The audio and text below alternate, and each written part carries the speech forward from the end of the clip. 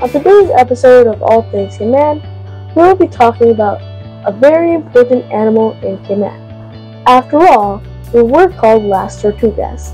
Today, we're talking turtles.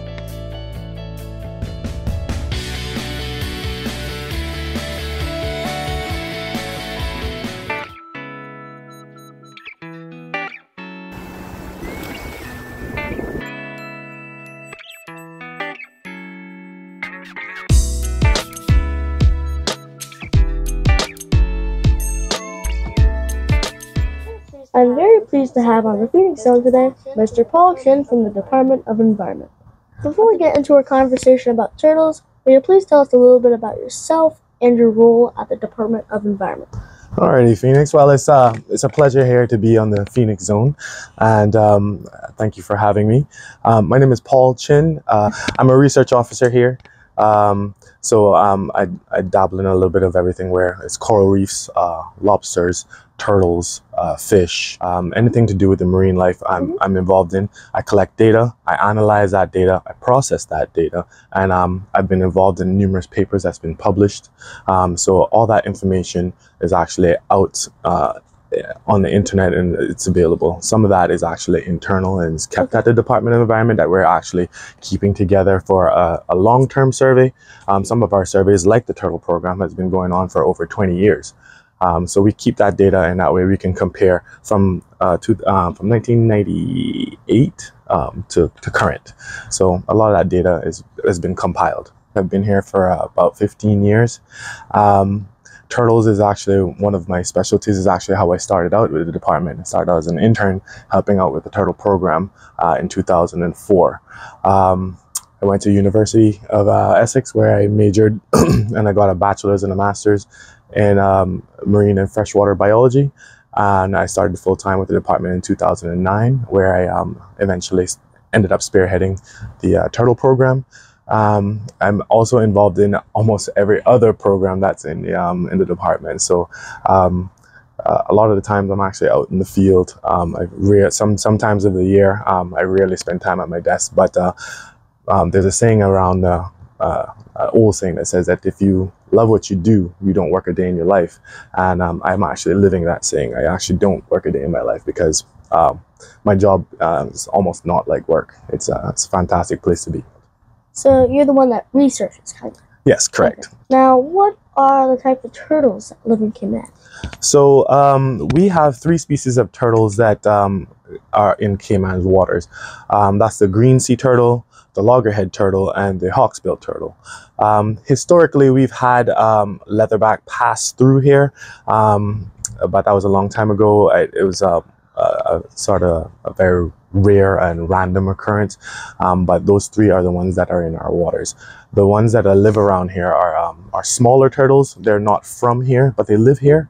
Um, this is where they feed. This is where they grow, and eventually they'll go back to where they're they're from. Yeah, okay. Right. So then the ones that come here were born here, but they don't live here. So they come Yeah. here to nest. So, how can you tell the difference between the hawksbill and all the other? and the other ones. Okay, so they're um, physical features, um, obviously, uh, is the first one that you want to look for, um, and it's uh, the most prominent one, the easiest one to find.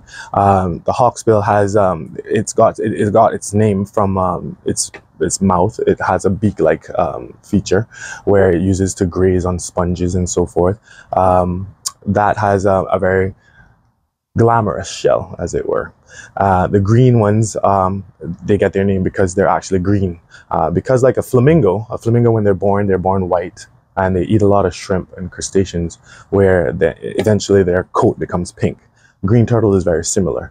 They eat a lot of seagrass, so their, their blubber and their fat becomes green and that way their appearance becomes green. Mhm. The loggerhead now, um, also his physical appearance is um, very, also very unique where he has a massive head. That's why it's called a loggerhead. Uh, in some cases, uh, their head can be about a third the size of their body. And the reason for that is because they eat a lot of um, shellfish. So um, I, I- if you can imagine a conch, it can put its, uh, a conch in between its jaws and crush the shell and get the conch out of it. So they're very, very, very unique uh, um, creatures, which all have very unique um, individual characteristics about them. So, the hawksbill has like a beak. Uh, yeah, it looks like a beak, and that's why it's called a hawk's because it has a beak that looks kind of like a hawk. And then the green sea turtle is kind of more greenish. Uh, exactly. And then last turtle, which is the loggerhead, Right. has a huge head. A huge head. Exactly. You got it right. Nailed it. Well, that's why it's called a loggerhead. A loggerhead. Yeah, exactly. is the fourth turtle a hickatee turtle? Yeah, so we do have hickatee turtles here in our in our freshwater ponds around um, around the island. Um, the most distinguishing feature about them is also their size. The size of a hickatee turtle is um, nowhere near the size of a of a, a marine turtle, and um, the most distinguishing feature is that um, the marine turtles have flippers or fins, and uh, the hickatee has feet.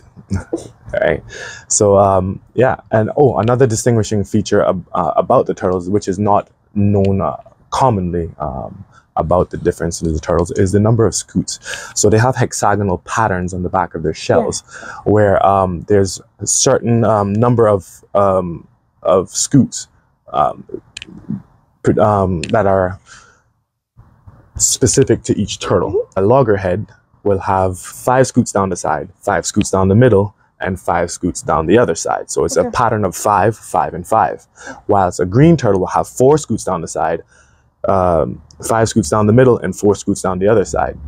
Now, as babies, the loggerheads and the hawksbills look quite similar. And the only way to tell the difference is those scutes. So the hawksbill will have scutes, scute patterns like a green, which is four, five, and 4 Mhm. but they look very, very similar to a, a loggerhead, Okay, yeah. right? And they, um, the green babies are uh, in a league of their own. They look completely different, Mhm. and they have a very specific scute pattern, which is similar to the hawksbill. How often do um, leatherback turtles appear in Cayman? Um, I that is a very good question. Um, the occurrence that happened was um, they believe that the leatherback uh, just came up on the beach and attempted to nest, and that was quite a number of years ago, uh, a couple of decades ago. This was before I was even in the program, and um, it was just a historical um, sighting. Um, it doesn't happen very often. It happens more so on the Eastern Caribbean, sort of like um, Trinidad. Yeah. And so forth, and, and, and those areas down in that side. So um, we don't get them here very often. The, we, we have seen them, and some of the divers have seen them in passing. So they're they're going uh, probably in transit to where they're from. Because what happens is that when the babies are born, they crawl down the beach, they enter the currents, and then they end up in, living in some uh, sargassum or some seaweeds and stuff like that. And then they kind of swirl around in the currents for a while until they're big enough to defend for themselves, and then they end up somewhere where they can forage and feed until they're big enough, like I mentioned earlier, with the turtles that actually live here. So um, when they're passing to go back to where they're originally from, um, they get ended up getting sighted sometimes.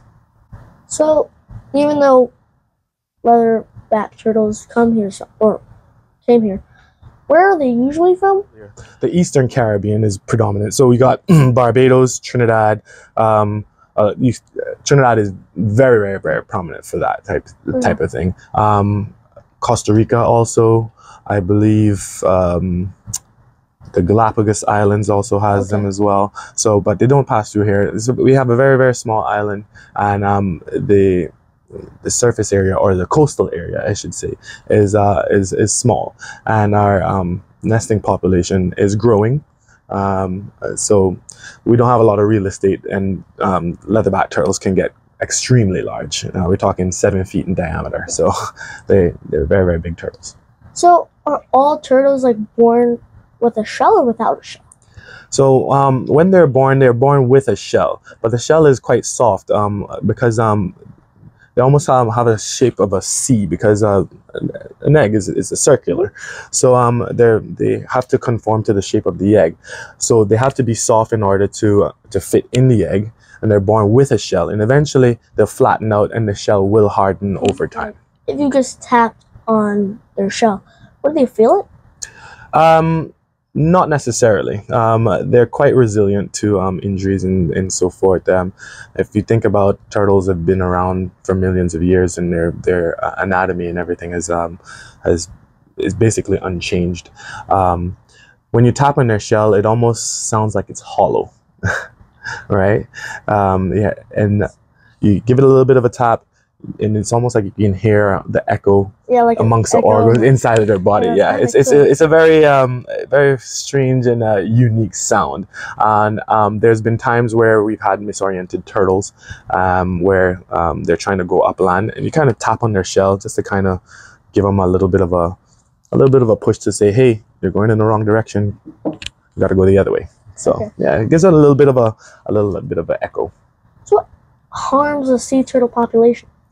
So, um, sea turtle population right now, um, we are actually exploring the um, effects of climate change Mhm. uh, in terms of the population because um, heat is very um, important in the life cycle of a turtle. Um, more so, the beginning of the life cycle of a turtle. Um, heat determines the length of incubation um, when the eggs are, are laid in the sand. Heat also determines the gender. Um, we found that um, 29 degrees Celsius gives us um, an equal ratio of males to females, Okay. and um, hotter temperatures usually yield more females. Yeah. So, with increases in temperatures and climate change and so forth, we're um, we're thinking that it's possible that the the clutches um, that the turtles are are laying are yielding more females than males. Oh, Um, okay, yeah. So that affects the population ratios uh, in terms of the population um, numbers. Um, usually, man man uh, man-made effects, anthropogenic impacts are usually um, uh, the issue. We have development where they lose um, nesting beaches. You know, the hotels and the houses and so forth that go on the coastline. You end up losing nesting areas where because that's Mhm. where they, they lay their nests. Um, you have um, fishermen. Um, you have boats and so forth. Um, sometimes you have boat strikes um, and ends up damaging the turtle's shell. And, and um, sometimes they can survive it. As I mentioned earlier, they're very resilient. There, there's been some instances where they've been struck by a boat and still survive. Um, there's also um, in the Cayman Islands, particularly, um, we're a very traditional turtle consuming country where um, turtle meat was um, a very big part of our culture. Um, you know, passing ships used to come here to replenish their stocks to um, of, of meat and so forth. So um, you have people who still believe that the turtle meat, the wild turtle meat, is a very um, it's a good delicacy to have, even though it's readily available at Mm. Turtle Farm. Um, that's one of our big issues, and also um, traditionally the eggs were also a delicacy. But with the availability of chicken eggs and uh, the ease of being able to go to the supermarket, that those impacts are a little bit less. But um, man-made impacts are usually the issue, and you got fishing line where turtles get wrapped up in fishing line uh, pollution. Mhm. Um, you got um, uh, this the soda can wrappers, the um, Yeah. the binders that they go Yeah. around the necks, um, plastic bags. Um, some turtles uh, actually eat jellyfish. You know, so um, when they um, when you see a plastic bag floating in the ocean, Oh. it kind of looks like a jellyfish kind of going, and they eat it. And what happens is, is that they get stopped, it gets stuck in their throats, and they're no longer able to consume um, anything else because the plastic bag is stuck in stuck in their throat, and they um, they die from basically starvation, essentially. So basically, it's the humans, the boats, pollution. Pollution, yep. Yeah, okay. and climate change is impacting as well. You know, um, rising um, water levels, we're losing habitats again, uh, that sort of thing. So there's a lot of things that happen. Um, guess what? And believe it or not, nature plays its own um, its own role as well because turtles, like everything in the food chain, has its predators. Yeah. So right. like so sharks. sharks, big fish, Yeah. birds, crabs. Certain states in the U.S. you have raccoons. You know, um, it, it's it's just all a part of life, and that's actually why turtles lay as many um, eggs and have as many babies as they have, because you want to try to have as many babies as you can to try to ha- increase the number of survivors. So a turtle can lay anywhere between 800 and 1,000 eggs per season, Mhm. just so they can have one or two that survive to be the size of their mom. What Caymanian laws are there that people should know about turtles and turtle eggs? Right. So that's a very a very good question. So um, the capture of um, uh, large turtles, um, whether in land or in sea, is actually illegal unless you um, possess a, uh, a turtle fishing license. And only a handful of those were handed out by the Department of Environment to traditional turtle fishermen, Yeah. and um, those are not able to be grandfathered down. So, like, say for example, you know your grandpa was a turtle fisherman, he's he cannot now hand that license down to you. So um, once he has that license, that license is specific to him. So it's only like for him. You can't give Yes, it to anybody to else. anyone else. Exactly, exactly. So um, if he's too old to go fishing, then that's it. He can't just he can't go fishing. Um, so if you're caught with um, with a turtle or turtle eggs, um, you can actually be prosecuted, and um, if found guilty, you can be fined fined up to five hundred thousand dollars and uh, four years in prison, uh, depending on the severity of the um, of the incident. And if there were any sort of vehicles, whether it be boats or cars, involved in the incident, those can be repossessed as well. So you can lose your your vehicles, you can go to jail, and you can owe a lot of money. So um, yeah, this, these are things that you that you you got to know when you're doing these things. And um, so you there is um, if there is anyone who is still able to do turtle fishing, there is a season for it. You're allowed to catch turtles outside of April 1st and November 30th. Um, so that's the um, legal time that you're able to take the, the turtles. Outside of that, it's it's completely illegal. If you do consume turtle, um, the meat that is, it is readily available on island um, at the uh, the turtle center. fine So, like you said earlier, earlier, like way earlier on in the interview, that tur- sea turtles eat sargassum. Sure, not sargassum, but seaweed. sea, yeah, seagrass. Is there anything else that they would eat? The green turtles, um, that's predominantly what they eat, and that's prob- and that's why you find if you go to um, certain beaches, you find them um, hanging around there because seagrass is predominant. So that's what they eat. They're predominantly vegetarian. Some turtles are omnivorous. Um, uh, the hawksbill are omnivorous. They're the ones that actually eat sponges as well as as um, jellies. Yeah. Um, but the the loggerhead, loggerheads are a, are predominantly um, carnivorous, so they they they'll eat the um, the conch and so forth. All right, Mr. Phoenix, thank you very much for having me on your show, and Thank I wish you all the best. And thank, you, very so much. much for talking with me. No problem. Thank you very much.